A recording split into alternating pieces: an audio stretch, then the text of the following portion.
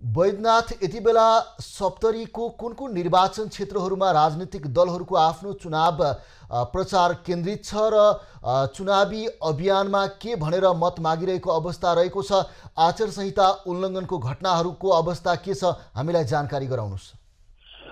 देशको जनमत नेपाली मनको मत निर्वाचन विशेष प्रसारण इलेक्सन एक्सप्रेसको क्रममा म यति बेला सप्तरी जिल्लाको निर्वाचन क्षेत्र नम्बर दुई राजविराज नगरपालिका नौमा छु।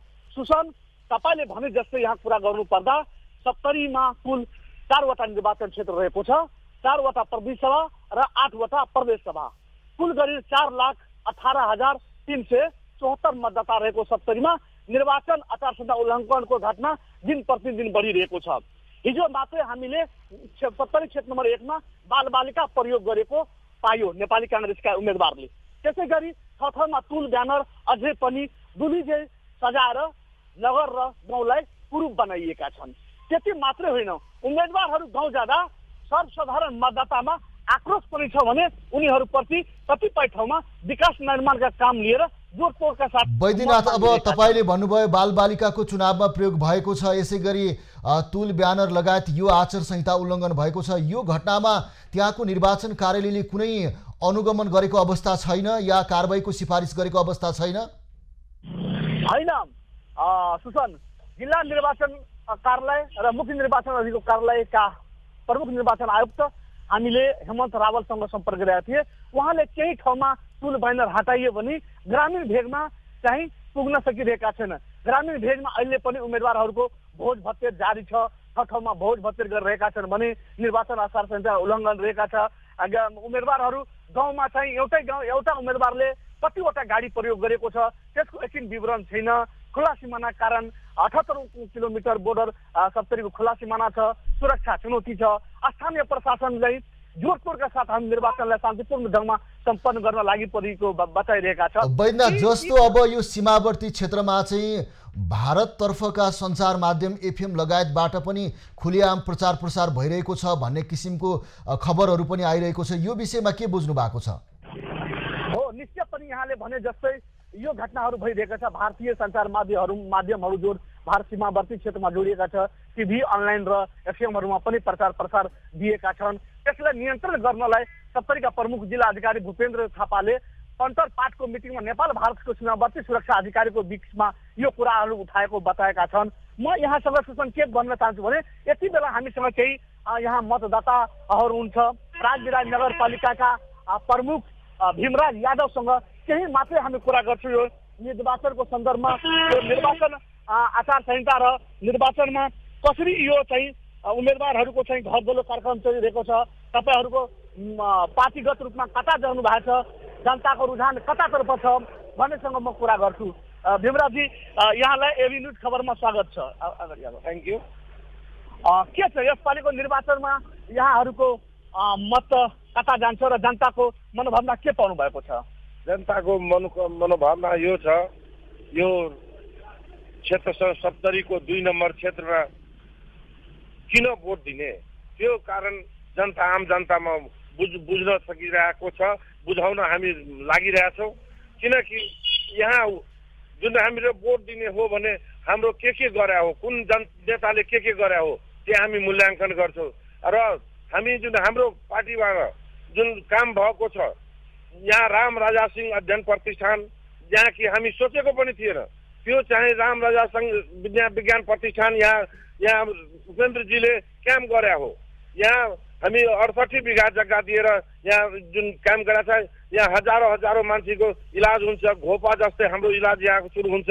त्यो हाम्रो हाम्रो लागि सौभाग्य हामी सोचेको पनि थिएन कि हाम्रो यो यस्तो ठुलो योजना हाम्रो अर्बको योजना ल्याउँछ उपेन्द्रजीले। ल्याउनु भएछ। यहाँ कृषि विश्वविद्यालय ल्याएको छ। उहाँ यहाँका किसानहरू अस्सी पर्सेन्ट किसान चाहिँ हाम्रो के भन्छ भनेदेखि यहाँ किसानीमा चाहिँ निर्भर छ। अस्सी पर्सेन्ट जनता उहाँको लागि कृषि विश्वविद्यालय चाहिँ ल्याएको छ। हाम्रो हेर्नुहोस् अहिले किन भोट दिने भने जनता आम जनताले बुझिरहेछ कृषि विश्वविद्यालय भएपछि यहाँ जब हाम्रो हाम्रो कृषिको उपज हुन्छ यहाँ आम जनताहरू सुखी हुन्छन्। त्यसकारण यहाँ कृषि विश्वविद्यालयका चाहिँ स्थापना गरिएका छन्। यहाँ इन्जिनियरिङ कलेजका स्थापना गरिएका छन्। यहाँ तपाईँलाई हस्पिटलमा तर तर तर सिकेर पनि जो पछिल्लो समय आएका छन् ऊ पनि वैज्ञानिक हो। सप्तरीमा तपाईँको यो दुई नम्बर क्षेत्रमा चारवटा स्थानीय छ। छ छिन्डामस्टा गाउँपालिका लाठीकुराली गाउँपालिका महदेवा गाउँपालिका राजधानी नगरपालिका। हजुर। त्यसमा उहाँको पनि त जताततै हाहाकार छ जाय जाय छ जताततै जनताले त सिकेरसले भोट दिन्छ भनिरहेको छ। अब उहाँ उहाँको अब भनाइ होला तर मलाई जस्तो लाग्छ त्यो त छैन। किनकि मान्छे वैज्ञानिक भएर ठुलो नेता बन्छ भनेर त्यो कहीँ पनि कल्पना हुँदैन। अब ठुलो नेता बन्नलाई विवेक चाहियो बुद्धि चाहियो र अब ठुलो वैज्ञानिक भन्छ भने वैज्ञानिक त अब के हुन्छ मेन्टल पनि हुन्छ त्यो पनि तपाईँहरू हेर्नुभएको छ। कहाँ कसलाई के बोल्नु पर्यो त्यो उहाँसँग अलिक चिन्तन।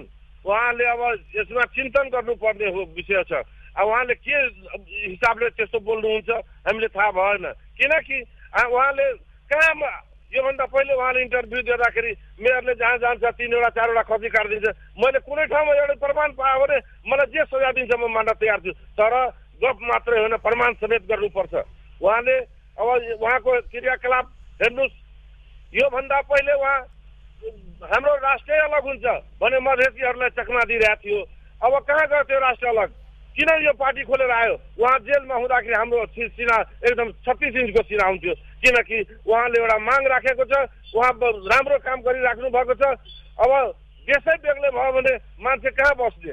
अब देश बेग्लै हुनको लागि त यो कुनै पनि देशमा तपाईँको तपाईँको भन्नु भनेको मतलब हिजोसम्म विखण्डनकारीको कुरा गर्थ्यो।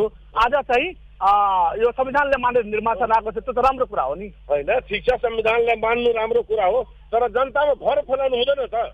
यो योभन्दा पहिले त जनतामा कति भरविक थियो? तर के लाग्छ तपाईँलाई? तपाईँको उम्मेदवार लाई कति मत आउँछ? के छ राजधानी नगरपालिकाको? यसो बताइदिनुहोस् तपाईँ मेयर पनि हो उहाँको एजेन्डा भन्नुभयो त विश्वविद्यालय खोल्नु भएको छ कृषि विश्वविद्यालय नर्सिङ कलेज विज्ञान र स्वास्थ्य विज्ञान परीक्षाको कुरा गर्नुभयो। तर यहाँ सडकहरूको सञ्जाल अस्तव्यस्त छ जताततै पानीको आकार छ खानेपानीको समस्या छ सडक बिजुलीको समस्या छ भनेर आम जनको बुझाइ छ नि भीमराजी निश्चित रूप होइन बुझ्नुहोस् न।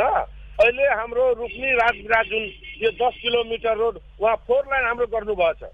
आशा छिन्मस्ता र राजविराजको लागि टू लाइन गर्नुपर्छ भारदा टु राजविराज टू लाइनको व्यवस्था गर्नुपर्छ यहाँ अरबौँ बजेट हाम्रो सडकमा आइसकेको छ। अहिले टेन्डर पनि भइसकेको छ काम पनि सुरु भइसकेको छ। हाम्रो राजविराज त अब पाँच वर्षपछि चिन्नै सकिँदैन जसको राजविराज लाग्छ। किनकि यो सतहत्तर जिल्लामा तेस्रो स्थान आउँछ। हाम्रो सबभन्दा कम विकास भएको जिल्ला हाम्रो तेस्रो जिल्लामा आउँछ यो सप्तरी जिल्ला। यसलाई उपेन्द्रजी आएपछि यहाँ हरेक चिजको व्यवस्था गर्दाखेरि सडक, खानेपानी, ढल, तपाईँले यो विज्ञान प्रतिष्ठानहरू, अध्ययन प्रतिष्ठानहरू, के भन्छ तपाईँलाई हस्पिटललाई चाहिँ अरबौँ रुपियाँ दिएर उहाँ स्वास्थ्य मन्त्री हुँदाखेरि अर्बौँ अरब रुपियाँ दिएर अहिले हेर्नुहोस्, जुन नेपाल अधिराजमा जुन आफ्नो तपाईँले विराटनगरमा जुन इलाज हुन्छ अब राजविराजमा हुन लाग्यो। हामीले सोचेको पनि थिएन हस्पिटलमा यस्तो परिवर्तन हुन्छ। आम जनताको सुविधा हो। आम जनताले जहाँ सुविधा पाउँछ आम जनताले जे चिजको भरोस राखेको छ त्यो उपेन्द्रजीले पुरा गरिरहेछ। त्यो त्यही नै उपेन्द्रजीले मान्या हो। किनकि उपेन्द्रजी धेरै ठुलो नेता हो। हाम्रो मधेसको एउटा किल्ला हो उहाँ। त्यसको मतलब उहाँ जित्नुहुन्छ एकदम निश्चित नै उहाँ दिन्छु उहाँको उहाँको पछाडि कोही पनि छैन। पछाडि छ। समय दिनु धेरै धेरै धन्यवाद। ल। हामीसँग हुन्छ अ, सुशान्त एकजना स्थानीय वडा अध्यक्ष वडा नम्बर नौको वडा अध्यक्ष मलेटका जवाहर यादव। के छ जवाहरजी तपाईँहरूको भोट कतातिर जान्छ कस्तो नेतालाई भोट दिनुहुन्छ? यस्तो छ त वास्तविक ठाउँमा जानुपर्ने हुन्छ। जनताले बुझ्नुपर्ने कुरा हो। जनताले बुझि पनि रहेछ। कि हाम्रो भोट के बुझिरहेको छ जनताले? मासु दिने पैसा दिने यो मासु दारू खुवाउनेलाई भोट दिने हो नि? त्यस्तो हाम्रो पार्टीमा छैन त्यस्तो। त्यस्तो केही छैन हाम्रो पार्टीमा। हाम्रो पार्टीमा कतै भोज भोज त्यस्तो कुराहरू केही छैन। एकदम स्वच्छ ढङ्गले शान्त वातावरणमा हामीहरूले भोट माग्ने हो। हामीले दिन पनि जनताले तयार भोट कसलाई कसले भोट कस्तो? सत्तालाई भोट दिने हो। सबै सत्ता सत्ताले भोट दिइरहेछ पूर्ण रूपले सत्तामाथि विश्वास छ? सत्ताले गरेको काम सबैको सामनै छ। सबैको गाडी सामनेमा छ सत्ताले के के काम गरेको छ? सोलुदेखिको राजमार्ग त्यहाँ तपाईँको न्युयोर्क बोर्डरसम्म त्यो अध्यक्षजीले जोडेकै छ त्यत्रो प्रतिष्ठान ल्याएकै छ? हस् त समय दिनु धेरै धेरै धन्यवाद वैद्यनाथ जस्तो अब सप्तरीमा चर्चित अनुहार उपेन्द्र यादव यसै गरी सिके राउत। अहिले पछिल्लो त्यहाँको दृश्य हेर्दाखेरि जनमत पार्टीका सिके राउतले उपेन्द्र यादवलाई कतिको अ, टक्कर दिने तपाईँ सम्भावना देख्नुहुन्छ? रुझान के छ? के देख्नुहुन्छ? सुशान्त यो क्षेत्रको कुरा गर्दै भयो जहाँ पन्चानब्बे हजार एक सय चौहत्तर मतदाता रहेको छ यो सप्तरीमा र कुलको कुरा गर्ने भने यहाँ चाहिँ पैँसठी प्रतिशत मत खस्ने अनुमान गरिएको छ। लगभग बैसठी हजार मत हाराहारी यो क्षेत्रमा मत खस्ने अनुमान गरिन्छ। त्यो अवस्थामा यहाँ त्रिपक्षीय भिडन्त हुनेछ। हिजोसम्म जसरी उपेन्द्र यादव र सिके रथ बिचको जुन प्रतिस्पर्धा देखिरहेको थियो अब आजदेखि बिहानैदेखि एउटा माहौल के पक्याएको छ भने वाम लोकतान्त्रिक गठबन्धनका जयप्रकाश प्रसाद गुप्ता र उपेन्द्र यादव बिच अब प्रतिस्पर्धा जोडतोडले अगाडि बढेको अनुमान गरिन्छ। किनभने सिके रथ नयाँ अनुहार हो राजनीतिकमा सत्तरी दुईमा पहिलोचोटि आएको हो। उहाँको मत स्थानीय तहको गत स्थानीय तहको निर्वाचनको कुरा गर्ने भने उसको मत जम्मा सय हुन्छ। उपेन्द्र यादवको मतको कुरा गर्ने हो भने सत्ताइस अठाइस हजार आउँछ र वाम गठ लोकतान्त्रिक गठबन्धनको कुरा गर्ने हो भने सैँतिस हजारको हाराहारीमा मत छ र यहाँ अर्को कुरा के पनि काम लाग्छ भने यहाँ अब यो बिचमा चलखेल त चल्छ नै। अब चाहिँ ठुला ठुला अब यहाँ जयप्रकाश गुप्ता गर्ने भन्यो भने उहाँ शिक्षा क्षेत्रमा चाहिँ ठुलो उहाँको कलेज स्थापना गरेको छ। उहाँको पनि हस्पिटल रहेको छ। व्यापारिक पृष्ठ- पृष्ठभूमिका मानिस हुन्। सिके रथको पनि अब उहाँहरूको पनि ठाउँ ठाउँमा चाहिँ के अरे भोज भत्तर सुरु हुन्छ अब। हरेक हातखण्डाहरू आफ्नो देखिन्छ।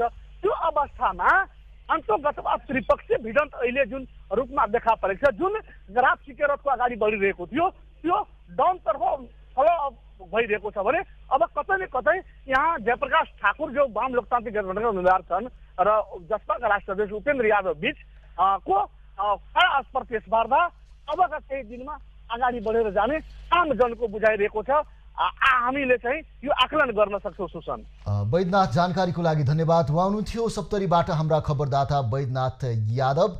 सप्तरीको पछिल्लो चुनावी सरगर्मीका विषयमा कुराकानी गर्नुहुँदै र सप्तरी क्षेत्र नम्बर दुईमा केन्द्रित रहनुभएको थियो र खास गरी त्यहाँ वाम लोकतान्त्रिक गठबन्धन यसै गरी जसपा र जनमत पार्टी बीचमा नै त्रिपक्षीय भिडन्त हुने अवस्था देखिएको हामीलाई जानकारी गराउँदै